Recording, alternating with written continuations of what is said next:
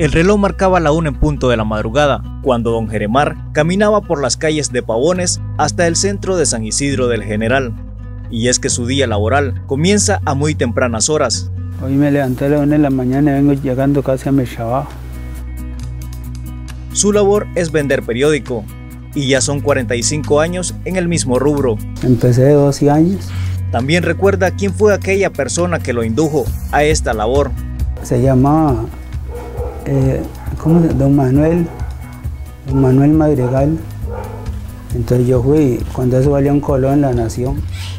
Me dieron 100 periódicos y los vendí todos.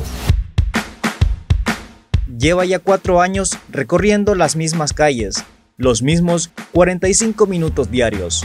Antes vivía en el centro de San Isidro, pero siempre su jornada laboral ha comenzado a la misma hora. No, siempre a esa hora me voy, 2 de la mañana. A las 2 de la madrugada ya se encuentra esperando el periódico, que es traído desde San José.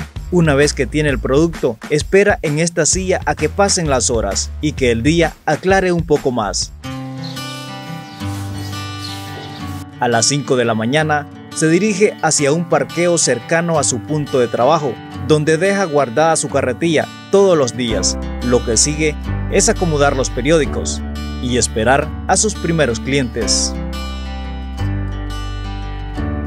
Don Jeremar apenas logró llegar hasta tercer grado de primaria. Sí, sí, aprendí algo, hacer sumas y todo, eso fue lo que aprendí más. Y, entonces, por eso que vendo el periódico, porque sé hacer sumas y entonces con la cuenta del periódico y todo. En esta rutina que ha realizado durante más de cuatro décadas, su integridad ha estado expuesta a la delincuencia. Así recuerda una historia que vivió en carne propia. Sí, estaba yo trabajando ahí, en esa esquina, por eh, donde era el barco del amor, y llegó una mujer y me, y me metió la mano a la bolsa. Y como yo no quise darle nada, me dice, me da mil pesos o lo, o, lo asalto. Entonces yo no quise, entonces, entonces yo le quité la mano así. Entonces vino y, entonces me, dice, usted no me pega, donde ella cayó y me sacó un chuzo y me lo puso así. Entonces me dice, si no me da la plata usted, lo, lo paso aquí en la y le digo yo, no, no, tome. Un negocio con pocas ganancias, según las palabras de don Jeremar. Para ir pasando apenas, apenas vendo como 30, 40. Ah, no, si antes eran 100 o 200.